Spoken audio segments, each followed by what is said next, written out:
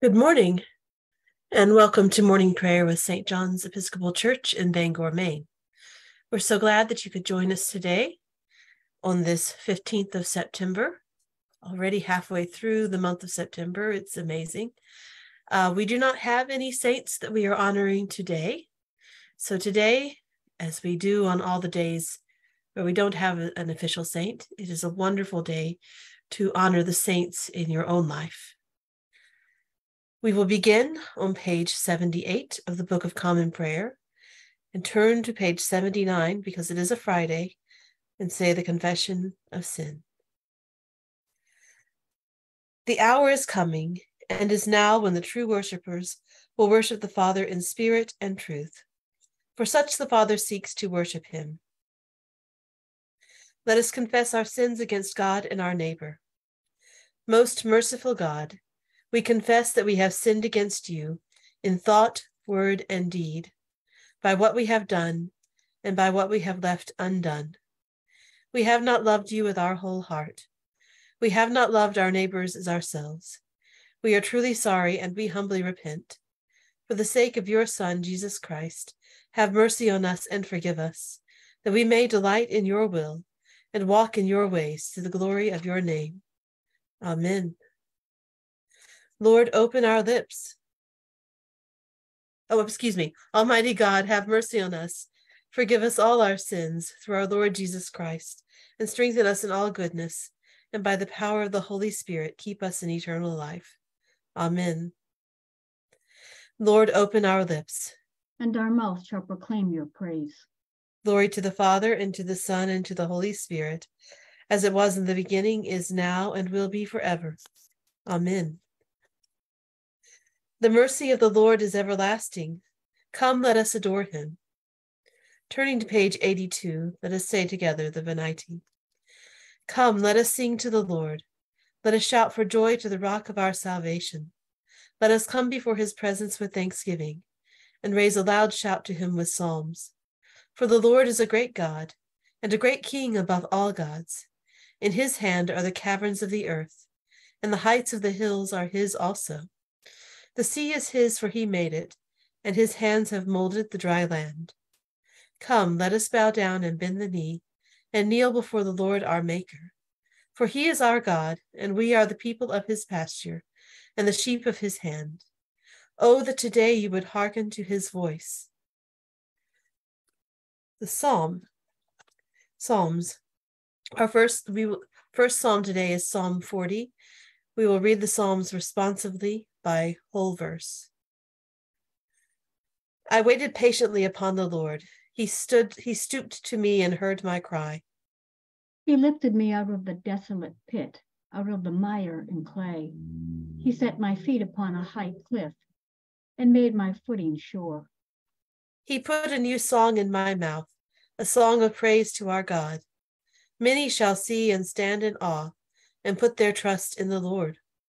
Happy are they who trust in the Lord. They do not resort to evil spirits or turn to false gods. Great things are they that you have done, O Lord my God. How great your wonders and your plans for us. There is none who can be compared with you. Oh, that I could make them known and tell them, for they are more than I can count. In sacrifice and offering you take no pleasure. You have given me ears to hear you burnt offering and sin offering you have not required. And so I said, Behold, I come. In the roll of the book it is written concerning me. I love to do your will, O my God. Your law is deep in my heart. I proclaim righteousness in the great congregation. Behold, I did not restrain my lips. And that, O Lord, you know. Your righteousness have I not hidden in my heart. I have spoken of your faithfulness and your deliverance. I have not concealed your love and your faithfulness from the great congregation. You are the Lord. Do not withhold your compassion from me. Let your love and your faithfulness keep me safe forever. For innumerable troubles have crowded upon me. My sins have overtaken me, and I cannot see. They are more in number than the hairs of my head, and my heart fails me. Be pleased, O Lord, to deliver me. O Lord, make haste to help me. Let them be ashamed and altogether dismayed who seek after my life to destroy it. Let them draw back and be disgraced, who take pleasure in my misfortune. Let those who say, Aha, and gloat over me be confounded, because they are ashamed. Let all who seek you rejoice and be glad. Let those who love your salvation continually say, Great is the Lord. Though I am poor and afflicted, the Lord will have regard for me. You are my helper and my deliverer. Do not tarry, O my God. Now turning to page 659, let us say, let us pray together Psalm 54. Save me, O God, by your name. In your might, defend my cause. Hear my prayer, O God. Give ear to the words of my mouth. For the arrogant have risen up against me, and the ruthless have sought my life those who have no regard for God. Be, behold, God is my helper. It is the Lord who sustains my life. Render evil to those who spy on me. In your faithfulness, destroy them. I will offer you a free will sacrifice and praise your name, O Lord, for it is good. For you have rescued me from every trouble, and my eye has seen the ruin of my foes. Glory to the Father, and to the Son, and to the Holy Spirit, as it was in the beginning, is now, and will be forever. Amen. The first lesson. A reading from the first book of Kings. So Ahab sent to all the Israelites and assembled the prophets at Mount Carmel. Elijah then came near to all the people and said, How long will you go limping with two different opinions? If the Lord is God, follow him. But if Baal, then follow him. The people did not answer him a word. Then Elijah said to the people, I, even I only, am left a prophet of the Lord, but Baal's prophets number 450. Let two bulls be given to us. Let them choose one bull for themselves, cut it in pieces, and lay it on the wood, but put no fire to it. I will prepare the other bull and lay it on the wood, but put no fire to it. Then you call on the name of your God, and I will call on the name of the Lord. The God who answers by fire is indeed God. All the people answered, Well spoken. Then Elijah said to the prophets of Baal, Choose for yourselves one bull and prepare it first, for you are many. Then call on the name of your God, but put no fire to it. So they took the bull that was given to them prepared it, and called on the name of Baal from morning until noon, crying, O Baal, answer us. But there was no voice and no answer. They limped about the altar that they had made. At noon, Elijah mocked them, saying, Cry aloud, surely he is a God. Either he is meditating, or he has wandered away, or he is on a journey, or perhaps he is asleep and must be awakened. Then they cried aloud, and as was their custom, they cut themselves with swords and lances until the, gushed, the blood gushed out over them. As midday passed, they raved on until the time of the offering of the oblation, but there was no voice, no answer, and no response. Then Elijah said to all the people, Come closer to me. And all the people came closer to him. First, he repaired the altar of the Lord that had been thrown down. Elijah took 12 stones, according to the number of the tribes of the sons of Jacob, to whom the word of the Lord came, saying, Israel shall be your name. With the stones, he built an altar in the name of the Lord. Then he made a trench around the altar, large enough to contain two measures of seed. Next, he put the wood in order, cut the bull in pieces, and laid it on the wood. He said, Fill four jars with water and pour it on the burnt offering and on the wood. Then he said, Do it a second time. And they did it a second time. Again, he said, Do it a third time. And they did it a third time, so that the water ran all around the altar and filled the trench also with water. At the time of the offering of the oblation, the prophet Elijah came near and said, O Lord, God of Abraham, Isaac, and Israel, let it be known this day that you are God in Israel, that I am your servant, and that I have done all these things at your bidding. Answer me, O Lord, answer me, so that this people may know that you, O Lord, are God, and that you have turned their hearts back. Then the fire of the Lord fell and consumed the burnt offering, the wood, the stones, and the dust, and even licked up the water that was in the trench. When all the people saw it, they fell on their faces and said, The Lord indeed is God. The Lord indeed is God. Elijah said to them, Seize the prophets of Baal. Do not let one of them escape. Then they seized them, and Elijah brought them down to the Wadi Kishon and killed them there. The word of the Lord. Thanks be to God. The first canticle. Turning to page 86, let us say together Canticle 10, the second song of Isaiah. Uh, of Isaiah. Seek the Lord while he wills to be found. Call upon him when he draws near. Let the wicked forsake their ways, and the evil ones their thoughts. And let them turn to the Lord, and he will have compassion, and to our God, for he will richly pardon. For my thoughts are not your thoughts, nor your ways my ways, says the Lord. For as the heavens are higher than the earth, so are my ways higher than your ways, and my thoughts than your thoughts. For as rain and snow fall from the heavens and return not again, but water the earth, bringing forth life and giving growth, seed for sowing, and bread for eating. So it is my word that goes forth from my mouth. It will not return to me empty, but it will accomplish that which I have purposed, and prosper in that for which I for which I sent it. Glory to the Father and to the Son and to the Holy Spirit, as it was in the beginning, is now, and will be forever. Amen. The second lesson. A reading from the letter to the Philippians. Finally, my brothers and sisters, rejoice in the Lord. To write the same things to you is not troublesome to me, and for you it is a safeguard. Beware of the dogs, beware of the evil workers, beware of those who mutilate the flesh, for it is we who are the circumcision, who worship in the Spirit of God and boast in Christ Jesus, and have no confidence in the flesh, even though I too have reason for confidence in the flesh. If anyone else has reason to be confident in the flesh, I have more.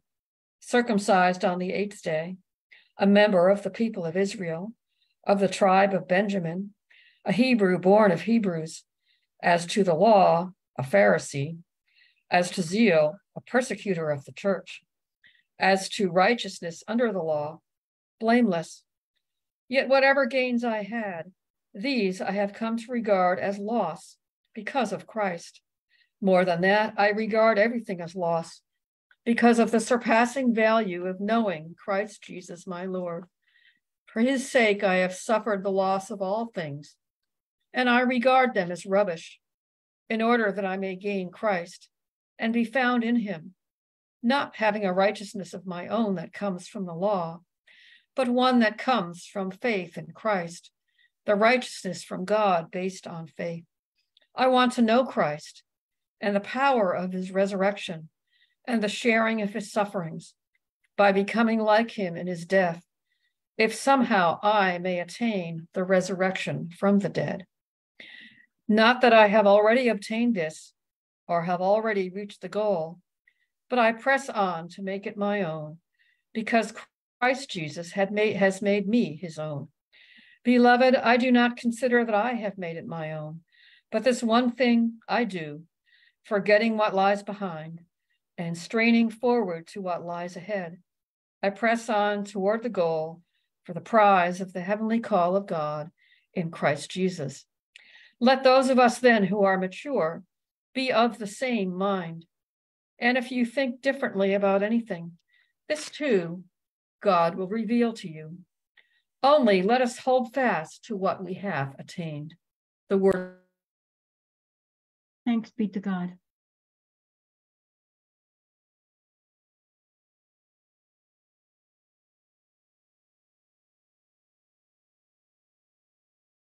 Let us now turn to page 93 and say together Canticle 18. Splendor and honor and kingly power are yours by right, O Lord our God. For you created everything that is, and by your will they were created and have their being. And yours by right, O Lamb that was slain. For with your blood you have redeemed for God, from every family, language, people, and nation, a kingdom of priests to serve our God. And so to him who sits upon the throne, and to Christ the Lamb, be worship and praise, dominion and splendor, forever and forevermore. The third lesson. A reading from the Gospel according to Matthew. In those days, John the Baptist appeared in the wilderness of Judea, proclaiming, Repent, for the kingdom of heaven has come near. This is the one of whom the prophet Isaiah spoke when he said, The voice of one crying out in the wilderness, Prepare the way of the Lord, make his paths straight. Now John wore clothing of camel's hair with a leather belt around his waist, and his food was locusts and wild honey. Then the people of Jerusalem and all Judea were going out to him, and all the region along the Jordan, and they were baptized by him in the river Jordan, confessing their sins. But when he saw many Pharisees and Sadducees coming for baptism, he said to them, you brood of vipers, who warned you to flee from the wrath to come? Bear fruit worthy of repentance. Do not presume to say to yourselves, We have Abraham as our ancestor. For I tell you, God is able from these stones to raise up children to Abraham. Even now, the axe is lying at the root of the trees. Every tree, therefore, that does not bear good fruit is cut down and thrown into the fire.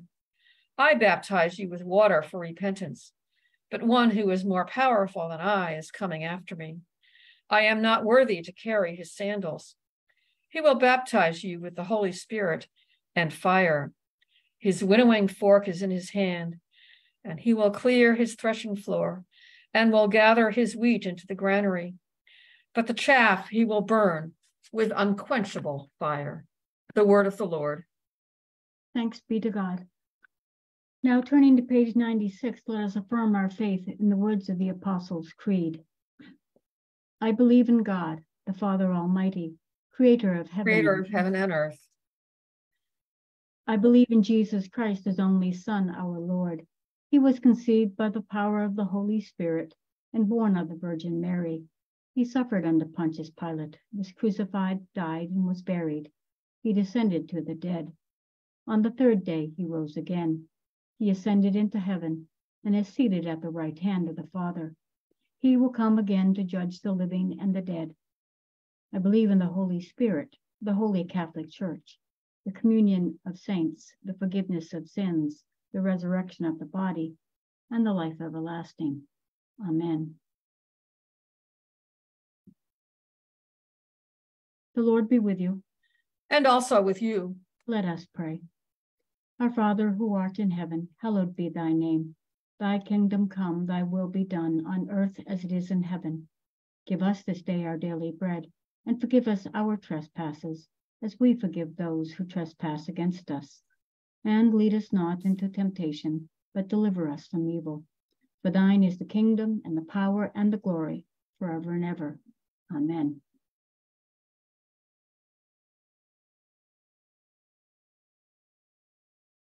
Suffrages A.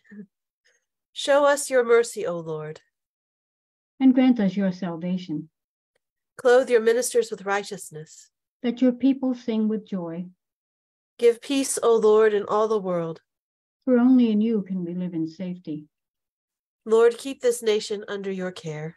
And guide us in the way of justice and truth. Let your way be known upon earth. Your saving health among all nations. Let not the needy, O Lord, be forgotten. Nor the hope of the poor be taken away. Create in us clean hearts, O God. And sustain us with your Holy Spirit.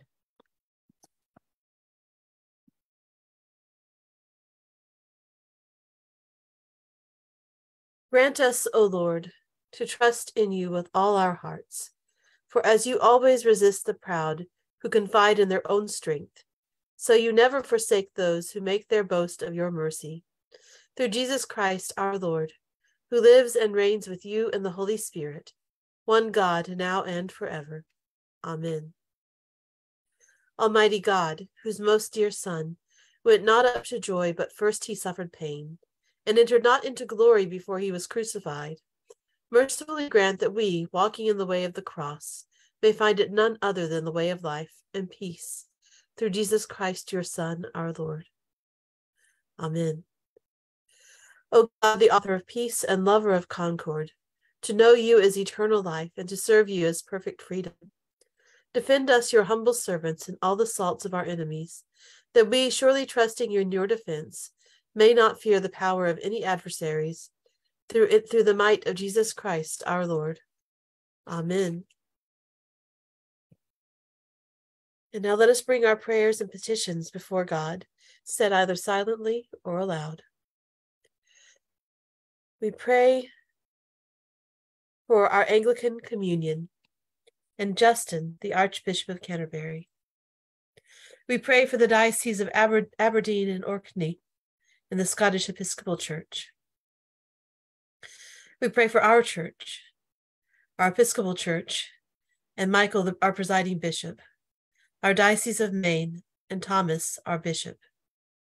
We pray for the congregations of Grace Church, Bath, and Good Shepherd, Rangeley. We pray for all, for all Christian education and Sunday school programs. We pray for our parish of St. John's, our priest James, and for all our people. Excuse me. We pray for the sick, the injured, or distressed, for Judy, Barbara, the Zink family, Bob, John, Nicola, we pray for Francisca. We also we offer continued prayers for Francisca, for the Mazzarelli Hamilton family, for Fred, Monica, Sarah, Ross, Ginny, Marlin, James, and Pyong. We pray for our homebound members, including Robert, Krista, Lily, Erlene, and Eileen. We pray for the world. for peace and goodwill among all, among nations, and for peoples and places of violence or oppression, and for the many other places in our world where there is danger and desperation. We continue to pray especially for the people of Ukraine. We pray for all suffering effects of climate change and of natural disasters, that the peoples of all nations will find ways to cooperate with God's earth in mitigating the climate crisis. We pray for our enemies and those who wish us harm and that all people come to understand that the best solution for conflict, whether far or near, is to first love our neighbors as ourselves. We pray for our nation, for healing of divisions and the celebration of, of diversity, for the recognition that no single viewpoint on any issue, no matter how important, is without human error, and for all who struggle to change our world and its systems of oppression and exploitation. We pray for the leaders of our country, state, and community, for Joseph, our president, for our members of Congress, especially Susan, Angus, Shelley, and Jared of Maine. We pray for Janet, our governor, and Rick, our mayor, and for those responsible for administering justice in the courts of this land, that they all may serve our nation and the world with wisdom, civility, and compassion. We pray for our military personnel, especially those of this parish for Sarah, Dylan, Joshua, and Timothy. We pray, we offer prayers of thanksgiving for the lives of those celebrating birthdays during this week, including Fran, Patricia, and Chiamaka. We offer prayers for the departed, for Laura Zink, Sister Susan John, Lucille Holroyd, and Jane Harburger. We offer prayers for the victims of the war in Ukraine, and for the many victims of gun violence in this country, and for all who mourn for them. Almighty and everlasting God, by whose Spirit the whole body of your faithful people is governed and sanctified, receive our supplications and prayers which we offer before you for all members of your holy church, that in their vocation and ministry they may truly and devoutly serve you. Through our Lord and Savior Jesus Christ. Amen. Almighty God, Father of all mercy, oh, turning to page 101, let us say together the general thanksgiving. Almighty God, Father of all mercies, we, your unworthy servants, give you humble thanks for all your goodness and loving kindness to us and to all whom you have made.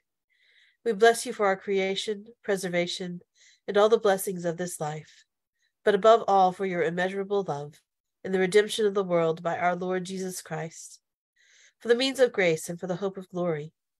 And we pray, give us such an awareness of your mercies that with truly thankful hearts we may show forth your praise, not only with our lips, but in our lives, by giving up ourselves to your service, and by walking before you in holiness and righteousness all our days. Through Jesus Christ our Lord, to whom with you and the Holy Spirit be honor and glory throughout all ages. Amen. A prayer of St. Chrysostom. Almighty God, you have given us grace at this time with one accord to make our common supplication to you. And you have promised through your well beloved Son that when two or three are gathered together in his name, you will be in the midst of them. Fulfill now, O Lord, our desires and petitions as may be best for us, granting us in this world knowledge of your truth, and in the age to come, life everlasting. Amen. Let us bless the Lord. Thanks be to God. Glory to God, whose power working in us can infinitely do more than we can ask or imagine. Glory to him from generation to generation in the church and in Christ Jesus forever and ever. Amen. This concludes our service of morning prayer today, and it concludes our morning prayer services for the week. We hope that you have a wonderful weekend. Stay safe if you are in the path of the hurricane, as we might be here, and um, stay uh, stay safe and, and um, have um, be well. Thank you very much. I I I, I lost my train of thought. Amen.